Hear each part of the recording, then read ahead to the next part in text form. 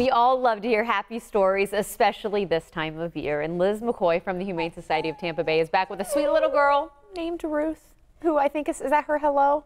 I, I, think that was a little bit of a whimpering hello. She's a little nervous for her TV debut, but she's a adorable two month old, so she's just a baby. Um, hound mix. So she'll probably get, you know, bigger. She's yep. pretty hefty for being only two pounds, or for being only two months. Um, and she's very grumbly this morning.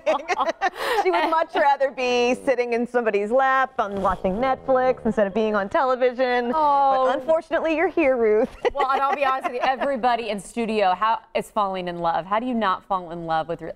I have a feeling Ruth might not be with you too long. I don't think she's going to stick with us for too, too long. I think she's probably going to be one of those where we have a line of of people outside the door uh -huh. before we open hoping to snag her. Uh -huh. And she uh-huh. has siblings too. She's got oh. three brothers.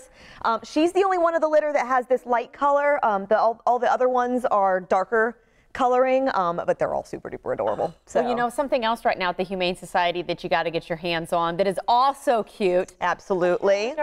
Yes, our annual ca calendar is out now. Um, it's a photo contest that we run where People in the community submit pictures of their adorable pets. People go online and vote for their favorites, and the top 12 um, get one month each in our calendar. Love that. Um, this year, the theme is um, Pets Around Tampa.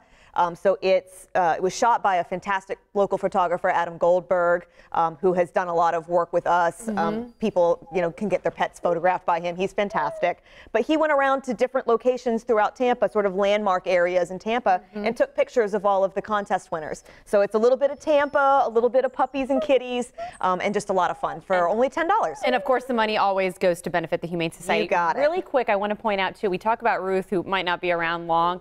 Last week's dog got adopted as well. Yes, she did right away. Um, there was a, yep, there they are. Um, that family drove all the way in from Polk County. They saw her on TV, fell in love immediately and got in the car, um, drove right over to us and adopted her right away. Oh, so that. that's a happy smile on both the doggy and the new mommy. So very exciting. Well, I know Ruth will make somebody smile as well. Liz, thank you so much Always a pleasure. Us.